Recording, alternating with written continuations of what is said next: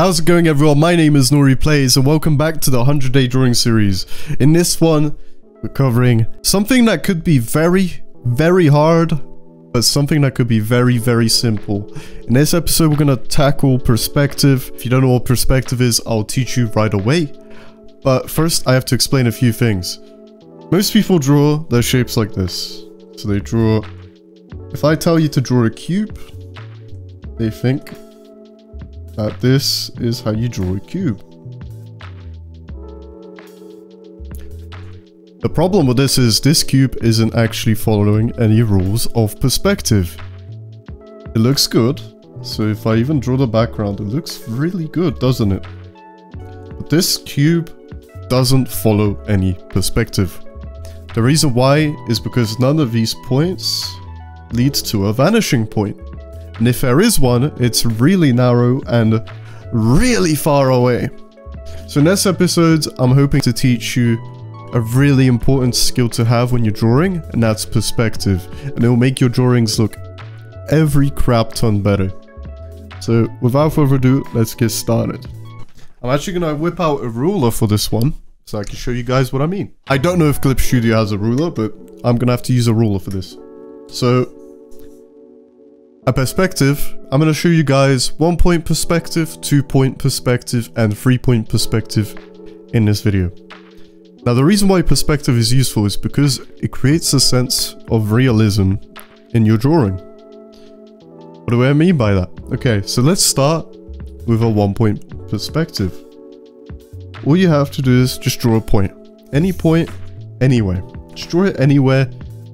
And then from there, just draw a bunch of lines coming from it. So you have to do is draw a crap ton of lines coming from it.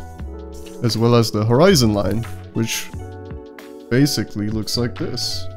What horizon line means is basically where where all your objects meet the horizon. So if you look above the horizon line, that means you're looking at something from below. And if you're drawing below the horizon line, that means you're looking at something from above. And if you're drawing at the horizon line, that means you're looking at the object directly straight ahead. Uh, we as artists have to get used to the idea that our eyes are a camera. Literally. Quite literally. So now that we have these points, I'm going to show you guys how one point perspective works. And the way it works is you can draw your standard cube, like the front of it. Store. We're gonna do this with cubes first, and then I'll elaborate into other shapes. So you draw a cube, like the front of it, and then what happens is the lines that form the 3D stuff of the cube, they all go towards that point. So if we draw from the point to the corners of the cube, hey, you can see that it's starting to look realistic. And then from then, all you do is what you did before. Just connect that. And now you have a cube that makes perfect sense in a 3D space. It's all about learning the 3D space around you to create an illusion of something looking real. So let's try drawing the cube above the horizon line, which means we're looking at the underside of the cube. The more we do this, the more you'll see how we're looking at the underside of the cube uh, and how to rotate things within this space. Basically, whenever you move the face, we'll move it up here. Draw the same face. The same thing. The same thing. And then do the same thing. Connect up the corners of the cube with the dot. Like so. And then look. We do the same thing again. And now we can see underneath that cube. Isn't that just weird? How would you draw a circle in this perspective? So, I'm going to show you guys a really cool trick on how you can figure out to draw circles in this perspective because this perspective, just any perspective in general makes circles harder to draw. So say I wanted to find a cylinder or a circle on the bottom of this side of the cube. All you would do is connect up the corners. Connect up the corners like this. And then this tells you the middle of the circle. Now from the middle of the circle, you go around like this. look at that. You have found the circle on the underside of the cube. Let's draw that again. Like so. And that is how you find a circle within a cube. If you wanted to do it on the front, it's even easier. So you have it from the middle and then you just connect all the sides. You can even feather it, it doesn't really matter, like this, to get another circle. Same with this side. If you wanted to get it for this side, do the same thing. You can see that this circle is going to be a lot more vertical due to how the X looks. So it's going to look something like this. That's simple. That's how you draw circles in 3D space. Now, that is one point perspective, but before we move on to two point perspective, I'll show you guys how to draw a triangle, for example, or a harder shape. So if I wanted to draw a triangle, like a pyramid, for example, I would draw the bottom. Actually, no, you know what? Let's draw the front. Just draw a triangle in the front like this. Start with the basic shape and then you see you see this again? You're going to connect up every single point to that vanishing point. Every corner. Then what happens is you simply connect it back. Don't worry about the angle of this line. That's the angle of the line that you don't have to worry about. You can make it as wide as possible, you can make it... But the rule is that it's vanishing towards this point in the middle. That's how you draw that. Say you wanted to draw this in a, into a cone. So you would do is connect the points first. Find a circle within this. So again, just make a cross. And then just draw a circle. That connects the bottom. And then we could round it off. Round off all the edges to the point where you get a cone. Kind of like that. So that is one point perspective.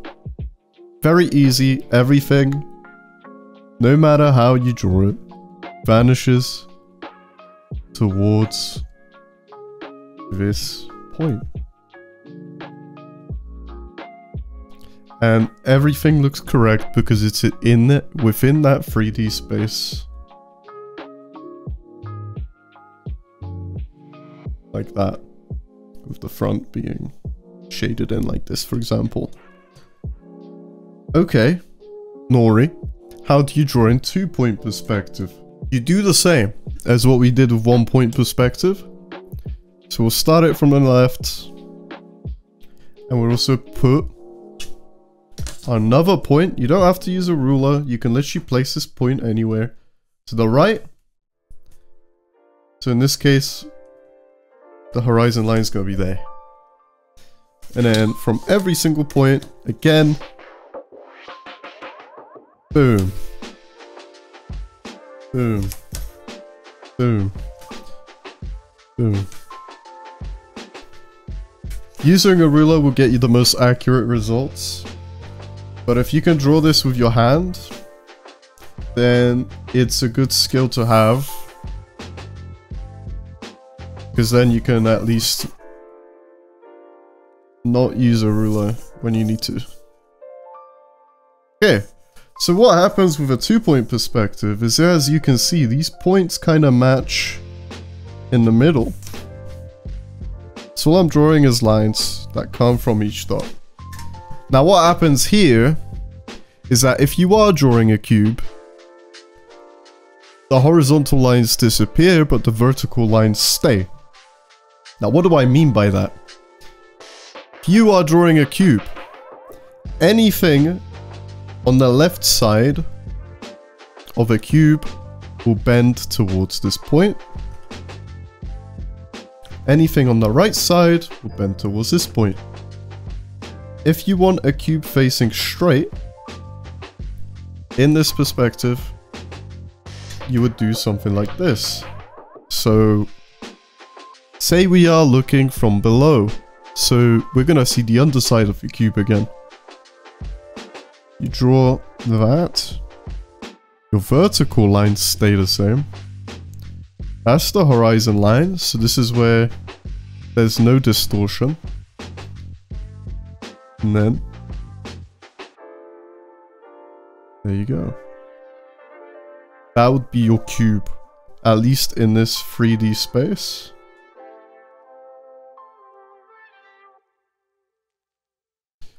Okay, let's raise it a little higher for my example so that it's easier to understand. We're going to draw the underside of the cube first. So this point, which is the left side of the cube, is going to go in towards this point. The right side is going to go in towards that point. This is also going to go in towards this point. Like this. And that side is also going to go in towards this point. So you end up with something that looks like that. The remember, the vertical lines stay the same for two point.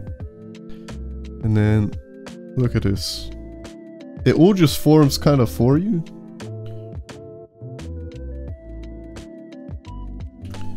I'm gonna use a ruler for this, just because I have one right next to me. If you don't, don't worry. You don't need to use one. There you go. So now you're looking at the cube from below within this perspective. How do you look at it from above? So you see the top of the cube. Well, hey, we have this stuff in place, so let's just try it. First, you draw the vertical line to kind of show the size of your cube.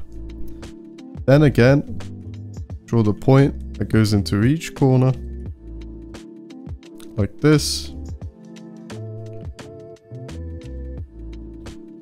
Vertical point again to break up the middle of the cube.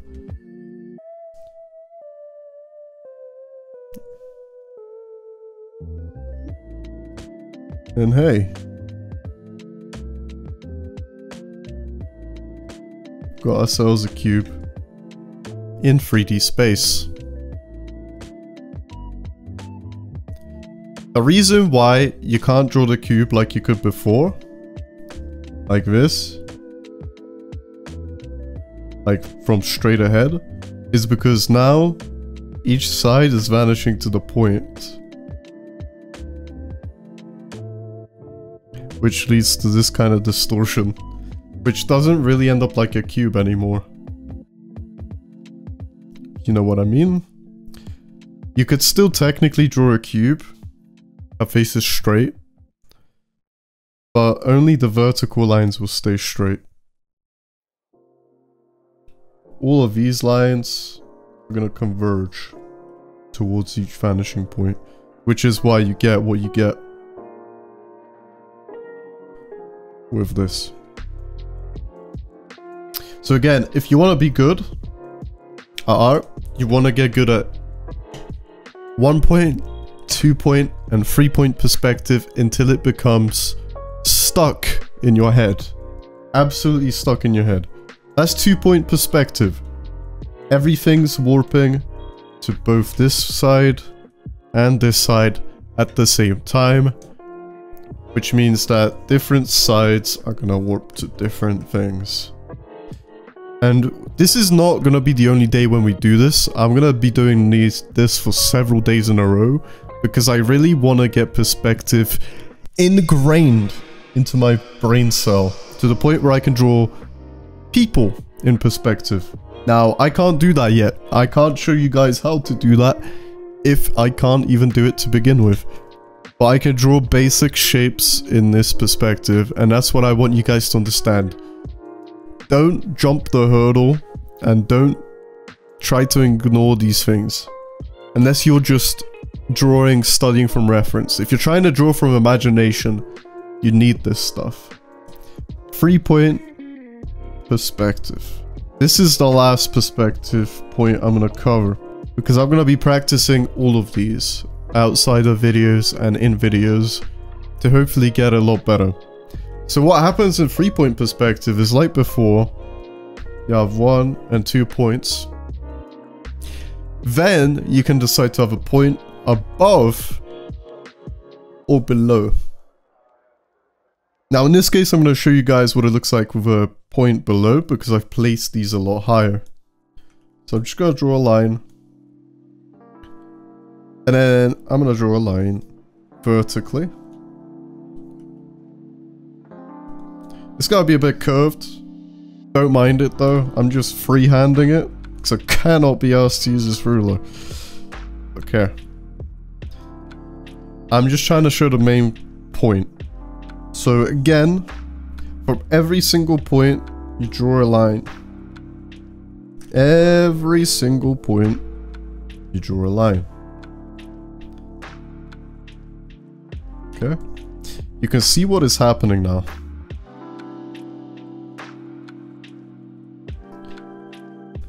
What is happening is that our vertical lines are also gone now.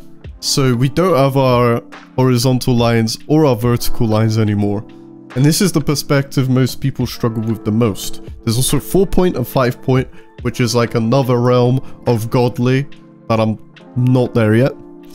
So I'm just gonna practice 3 point perspective with all of you right now. So a 3 point perspective, again, the warping to both points horizontally. But at the same time, the vertical lines are also warping towards point number 3. So I'm going to label these points. This is point 1, point 2, and point 3 is the vertical. So, we know that point 3 is going to warp our verticals, so you want to start with your verticals first. It doesn't really matter, but it helps me the most. Again, the horizon line is between 1 and 2. But then you also get a vertical split from 3 going up, kind of crossing here. If you draw a box here, it's not going to warp at all. It's just going to be like this. You're looking directly at the box.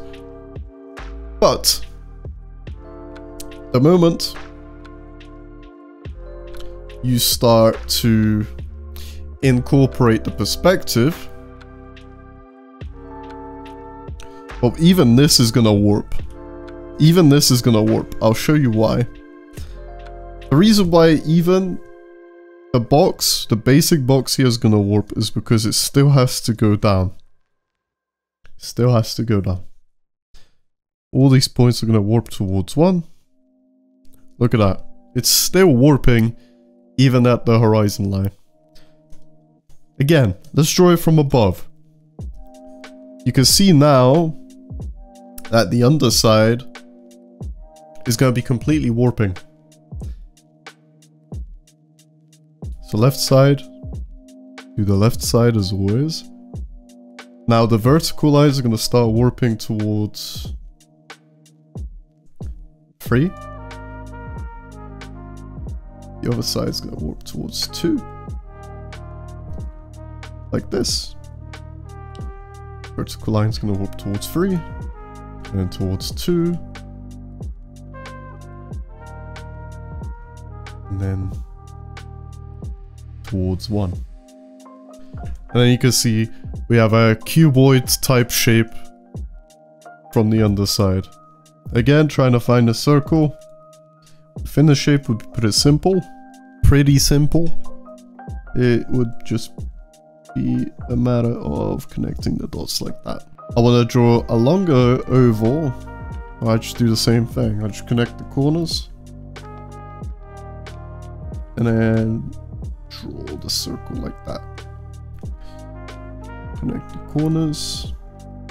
See how warping this has really warped where the center goes. I'll draw the point of center. So this is the center, this is the center, and this is the center. If you train yourself to find the center by eye, you're also going to be really good and really well off. So I recommend you guys start doing this stuff as well. Let's draw a pyramid like we're looking at it from above now. What's gonna happen is something really weird with a triangular shape in this perspective. So first, we draw the base. In this case, making the base will be easier than actually drawing the triangle shape itself. Now, in order to draw a pyramid, we have to link it up to one of these points. Draw a point. Uh, and this kind of follows the warp towards 3, but it doesn't follow it too strictly. So it looks something like this. Now that's not a square-based pyramid, because a square-based pyramid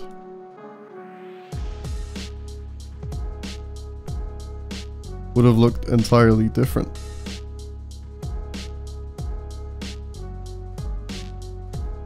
See, like, that's that's a rectangular pyramid.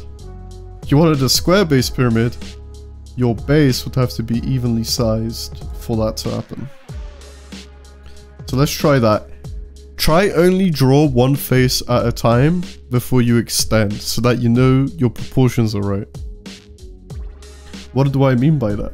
Say we draw another pyramid. Right here. You want to draw the same proportions for every single side. Like this. You find the middle. Then use that to go through the middle. Find your top apex point of the cone. And you just simply connect all the sides like this. That's your pyramid in perspective. Then all you do is just connect the corners. That's a perfectly square pyramid. Now say we're looking at a cube from above. In this case we just follow these rules. Again, right? These rules are in place for us to be easily able to use them. Looking at a cube from above. Again, we can start from the base or from the top. In this case, what you'd be seeing is the top, so you'd start from the top. I said top a lot of times just then. So just checking that my perspective is right. Look at that. And then it warps towards 2. Like this. And it warps towards 1. Again, what I'm realizing is that my squares aren't very square. To fix that, I'm gonna do it like that. Okay, cool. So now it's really gonna warp the hell out of this because we're converging to the third point. Like crazy. Because the further you get from the third point, from this point right here, the more it's gonna warp the horizontal, the vertical line. As you can see. See, see how, because this is in line with 3, it, it doesn't really warp it as much vertically. But the further you get away, it's unbelievable how much it warps this cube it warps it like crazy. And then you match it to 2 and go to 1. And this is still in 3D space in a three point perspective. Now an artist I know that does this or did this with his mind was Kim Jung Gi. That guy was able to have the perspective in his mind to the point where he didn't need to draw any of these grids. But we all know that he started use by using these grids. So if you want to be like Kim Jung Gi and you want to be a crazy master, sure, it will probably take you longer than him to learn this because this is not easy to imagine in your brain um, accurately enough. It's just, it's just not. It's so difficult. Like, I'm struggling even with the grid, let alone without it. So, for the people that can draw without the grid, like this, it's wizardry to me. It's absolute wizardry. Let's try maybe combine some shapes this time in three point perspective. This is probably one of my most favorite perspectives because of how everything gets so distorted. Um, in this one, it becomes more of a wider lens. Um, also, setting these points further apart from each other will create a more narrow image. Well, in this case, it's up or down for 0.3. So create a more narrow image because if you imagine, I'm gonna lower the opacity this for right now, and I'll draw this in red. So if you imagine like you're the camera, I'll draw a simple cube indicating where you are trying to focus as a camera. So imagine this is a sheet of paper, right? If our points are outside the sheet of paper, we're gonna, we're gonna get a more narrow image, right? But the perspective is always gonna join up even when it's outside the piece of paper. Because that's how perspective works. Um, you gotta be able to visualize these points sometimes outside of the page if you wanna be good at drawing in perspective. Because if you draw with perspective within the page, what happens is you get a lot more distortion in the image. Because there's a lot more going on. But if the moment you move these points outside, that means you are zooming in a lot more. So that's what's happening. And then your camera is like this. I'm gonna remove these points for a minute. I'm gonna try explain this the best way I can. So if you're focusing, you need to you need to imagine this in your head like you're the camera. If you're above the horizon line, you are looking uh, underneath an object. You are below. That means you are looking from above. So imagine that you are doing this in your head, okay? In an imaginary grid, perspective grid, and you're searching for what angle you want to draw the thing you want to draw out. And that's the hardest skill to obtain.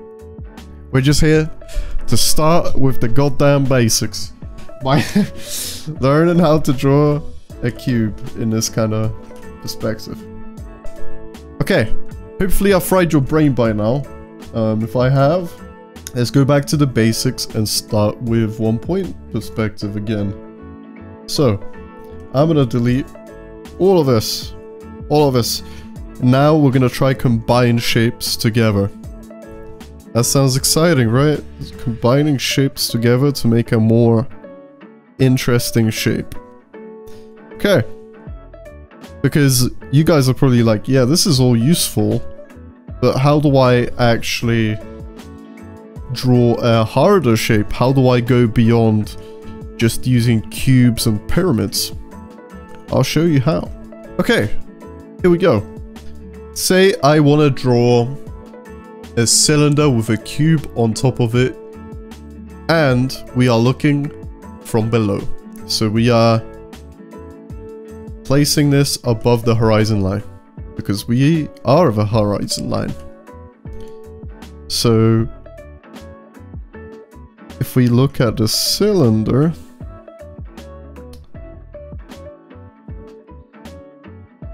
okay, I should probably draw the face of the cylinder first, like the sides. Okay, if I draw this, and then I draw that, and then I draw a circle here and a circle there. There's our cylinder. And it's going should be going towards the vanishing point. Let's check. It's not. Okay, rub it out. Try again. Now it is. Accurately going towards the vanishing point. More or less. We want to add a cube to this. How the hell do we add a cube to this? Well, let's think about it for a second. In one point perspective, we know that horizontal lines and vertical lines do not change. They do not change. So you can easily start by mapping out the middle of the circle then just simply drawing a square. You gotta do. That's what you gotta do. Just draw a square in the middle of that sucker. And then guess what? Vanishing points exist. And then you get the sides of your cube that come out from the vanishing point. Uh, let me think. Yes, so boom. And then again, you just end up doing this. And then if you get rid of the lines behind all that, even the cylinder that we drew, it doesn't matter because it's still technically accurate. You will see that we have drawn I've, I do not know if that's the word for it, drone, um, a cube on a cylinder. Okay, how do I extend it so that we can add like a pointy sharp edge to that cube? Well, we know that we have to find the middle of something. And then we have to extend that in perspective. In perspective, you have a point. And hey, look at that. Perspective does wonders. Boom. Boom. And that is a pyramid. It's a triangle on top of this damn cube. Look at that. We can even get rid of the lines of the cube from behind.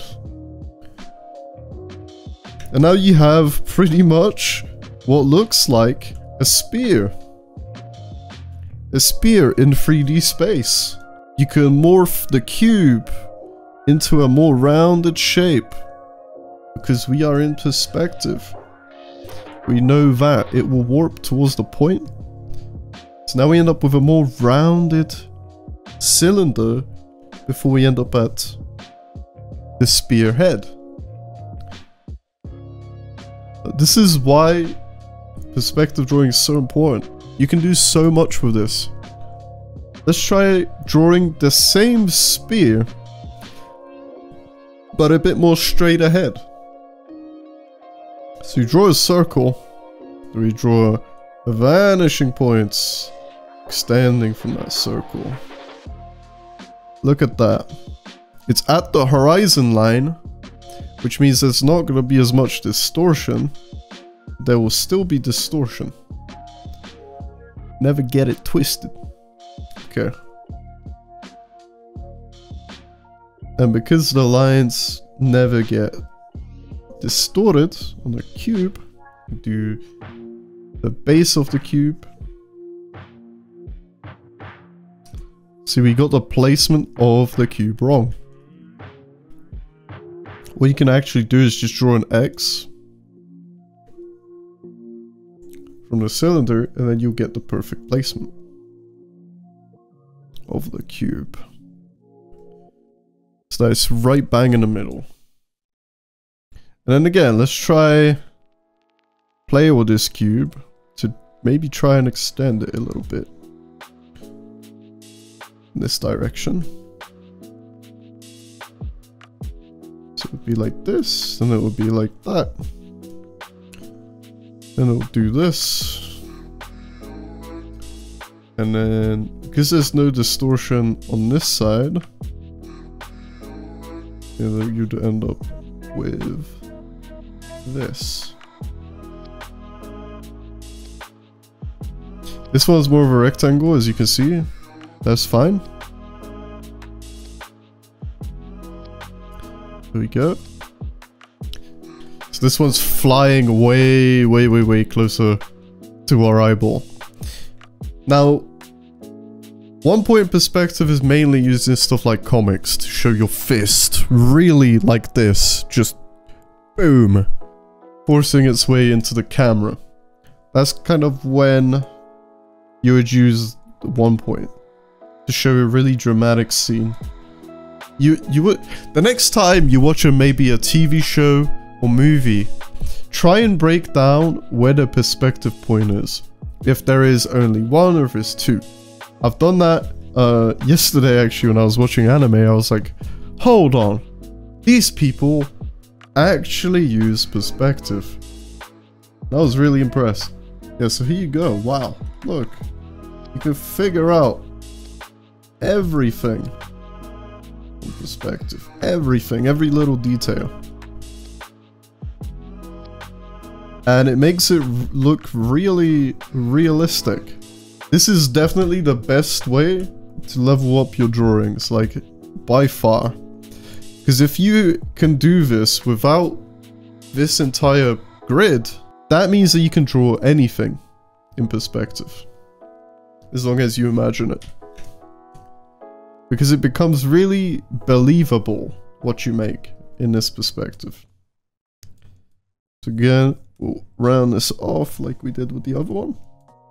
We'll round it off in a way that is trying to meet the perspective point. Like that. So we literally just drew the same spear, the same spear, facing in a different direction on the plane. The exact same thing. Oh, you want it facing the other way? Well, guess what? If I simply just lassoed this and I flipped it on its head like this and I moved it here it makes perfect sense still. That's because it's still on the same horizontal level and all the points are still converging into that vanishing point. So this is the same as this, just moved, rotated in 3D space. And if you can think like this when it comes to people, when it comes to animals, when it comes to breaking down a photo of someone, you will get very far.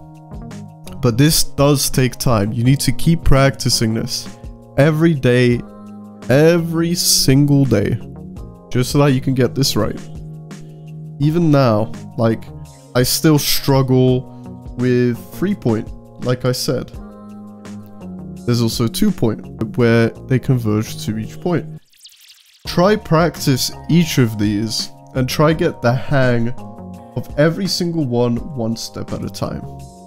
Only move on to the next one when you feel like you've already mastered one of them. I still have a feeling like I still haven't even mastered one point. When it comes to crazy shapes at least anyway. If it comes to like a human head. Let's try. You know what? Let's try. A human head. New layer. Uh, I'm using a pencil. Do not use a pencil. Well, you can if you want. So look, a human head. You remember the box method from that last video? I bet you do. I bet you, all of you do. Look at that. All these points converge to that vanishing point. Like this. Look, if you break it down the middle.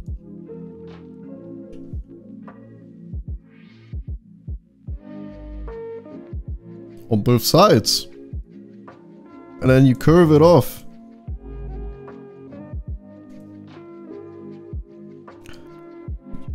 You have something now that resembles the top of the head, the cranium. And what happens is, there you go. Look at that. Isn't that the cranium that we saw before? And then the lower is like this, that. And then, you know what I'm saying? I need to mess with this a lot more, but from simple cubes, you can use those cubes to transform it into anything else you want. A head, a circle, a dome, anything, anything, anything. And this is why perspective is so damn important, okay? I'm gonna show you guys something I drew the other day. Okay, this is what I did yesterday off camera in a three point perspective. You can see that you can combine all sorts of elements. Horns, cubes coming out of pyramids. You can build a building, a castle. Uh, start with basic, basic things. And then work your way into much harder ones that you can understand. Do not rush this, because this... If you rush this, you will not remember this, you will not have it in your muscle memory. If you guys enjoyed, make sure you smash the like button, comment down below, and subscribe if you are new. I will be doing this every single day for a few days until probably when I get bored of it. But apart from that, I'll see all of you in the next one. Peace out.